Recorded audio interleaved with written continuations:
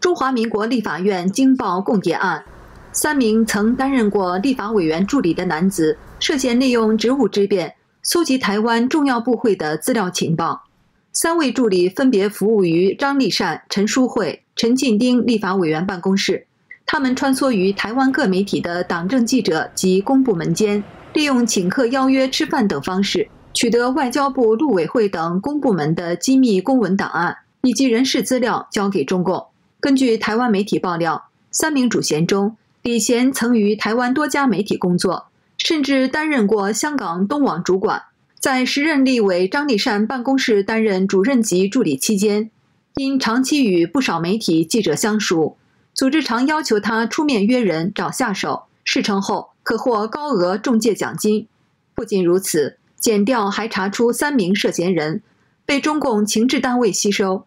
自2014年开始至2018年间，在立法院、外交部、党政媒体记者间吸收成员，发展组织。立法委员王定宇表示，曾任蓝营立委的三位国会助理涉入共谍案。他们除了利用国会助理或媒体身份搜集资料、会议记录、机密文件外，更严重的是协助发展共谍组织。那如果他的犯行是一直延续到我们修法之后，我们希望依照我们新修订在上一届修订的国安法案予以严惩，哈，这个最终都可以到死刑。台湾政治大学国家发展研究所教授李友谈表示，不仅是立法委员助理，还有其他行政人员、学生都有可能成为共谍。立委助理因为很容易接触到国家各个。单位的机密资料，尤其是国防外交的机密资料，一不小心就很容易被收买。收买的方式就是抓把柄、金钱跟色诱。尤其是如果还常跑中国大陆或港澳的话，那更容易透过这些管道被吸收、暗盘交易。旅美时事评论员唐靖远认为。中共利用台湾社会的这种开放和自由，大幅度加快了渗透的步伐。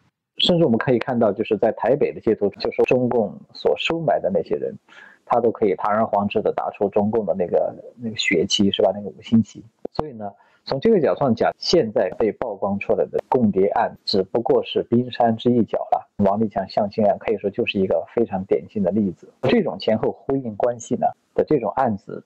这个它都凸显了一个非常严峻的现实，就是中共对台湾的这种渗透严重的程度是远远超过一般人想象的。据报道，中共对台统治单位是设置于中共政治局辖下的中共中央对台工作领导小组，相关涉台部门各自收集情报，所得资讯一并汇整给中共国家安全部、国台办等情报单位。我所知道，中共连台湾民主基金会。的人事跟运作都要干预。当时中国大陆还有很多人来台湾驻点。从去年开始，这个现象应该慢慢改善，因为国安法修法要制定反渗透法以后，这个现象比较有所改善。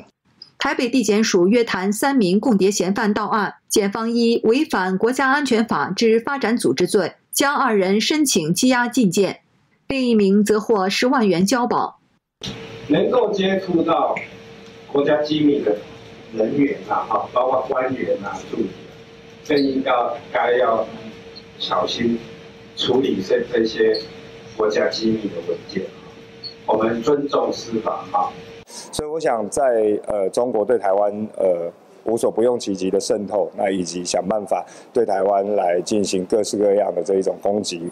跟控制的过程里面，我们的确是要对这一些呃可能的呃非常呃应该说非常关键的人员，必须要更严谨的来把关。历史证明，替中共做间谍的人下场都很惨。根据维基百科资料，中华民国第一位共谍刘仲华，一九三七年任国军第五战区司令长官部参议，后曾任中共北京市园林局局长，文革中被迫害致死。历史证明。替中共做间谍的人没有善终。